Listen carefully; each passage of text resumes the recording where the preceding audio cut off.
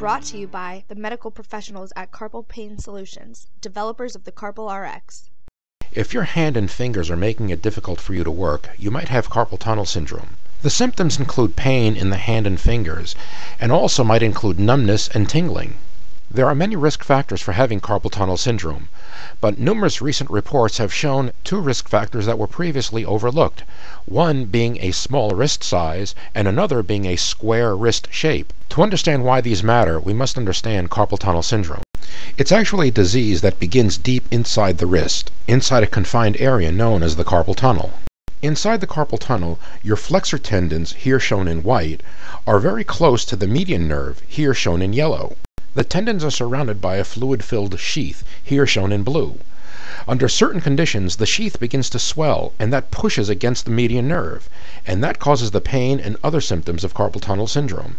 As you can readily see, the median nerve needs enough room inside the carpal tunnel so it doesn't get compressed. From an anatomical standpoint, a wrist that has a flatter shape or more oval shape has more room inside the carpal tunnel. This puts less compression on the median nerve. In contrast, a more square-shaped wrist has less room inside the carpal tunnel and puts more pressure on the median nerve.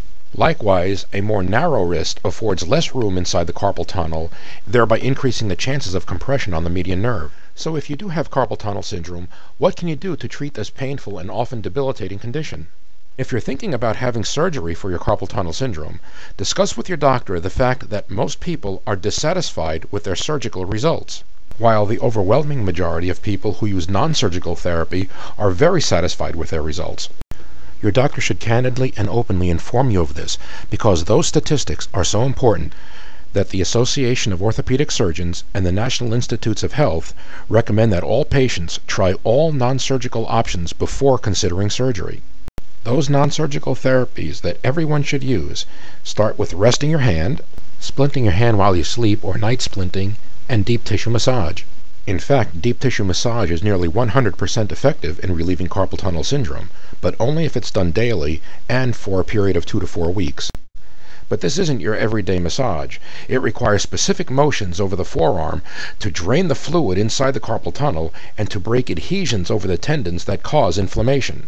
But you don't have to visit a therapist every day to get this treatment because the Carpal RX will do it for you. The Carpal RX automatically produces deep tissue massage, which acts on the tendons, causing them to lose their inflammation. Surgery doesn't address this inflammation, which is why it fails so often, and why the Carpal RX is so successful.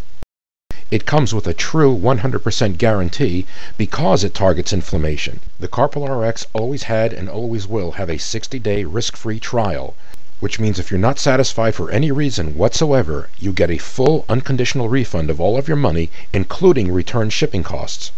If you suffer from carpal tunnel syndrome or wrist tendonitis, you have nothing to lose by trying this remarkable product. Remember, it's the only product backed with a 100% guarantee to permanently and easily get rid of carpal tunnel syndrome, wrist tendonitis, or repetitive strain injury. Learn more at carpalrx.com.